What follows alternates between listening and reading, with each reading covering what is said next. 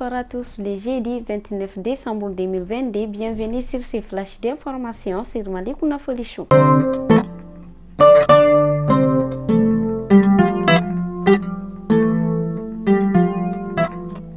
La nouvelle école doctorale du Mali sera opérationnelle cette année.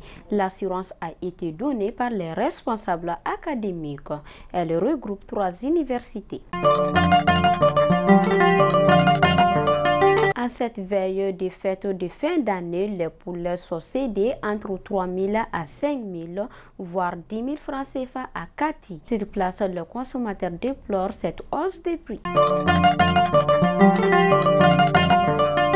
Plusieurs cas d'attaques meurtrières ont été enregistrés cette semaine dans le nord du pays. Au même moment, les groupes signataires réunis au sein du cadre stratégique permanent pour la paix CSP s'organisent pour la sécurisation des personnes et leurs biens.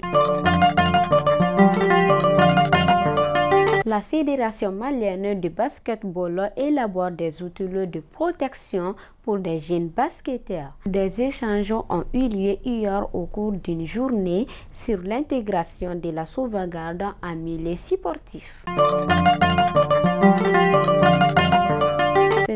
Au nord du pays, un cadavre a été retrouvé le 27 décembre 2022 sur l'une des dunes surplombant la ville de Menaka par des habitants. Des sources locales indiquent que les raisons de cet assassinat et les auteurs restent inconnus. Le corps a été inhumé le même jour au cimetière de Menaka.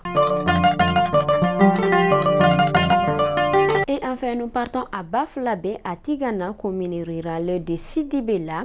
Une note d'interdiction de la cueillette prématurée du pain des singes est en vigueur depuis la semaine dernière. Selon les autorités locales, la cueillette ne sera autorisée jusqu'en fin janvier 2023.